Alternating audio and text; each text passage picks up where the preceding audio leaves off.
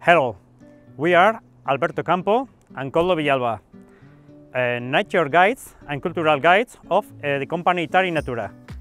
Navarre is a land of diversity. Talking about Navarre is talking about ancestral history. Here we have the oldest language of Europe, Euskera.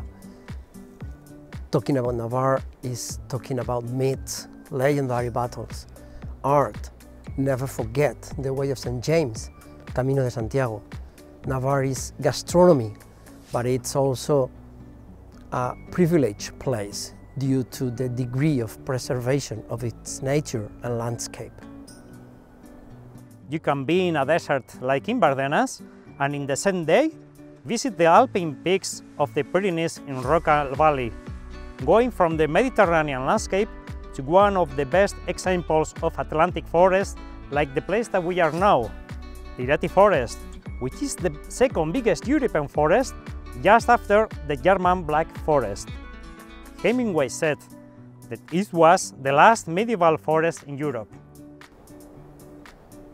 If you come to Navarre, you'll be able to travel it comfortably through an extensive net of long distance and local paths, accompanied, if you wish, by the culture and local guides of Navarre, who will be at your disposal to show you what is not usually seen and give a deeper sense to your experience.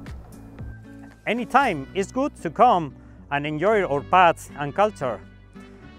In winter, we can go over our paths with snowshoes or skiing in the higher areas, or enjoy the blooming of flowers and the singing of the birds in spring. During the summer, you can walk on the shadow without leaving our forest or bathing in crystal clear water rivers. In autumn, pick up and taste the seasonal products such as marron and wonder with the incredible range of colors that decorate our forest and river gorges.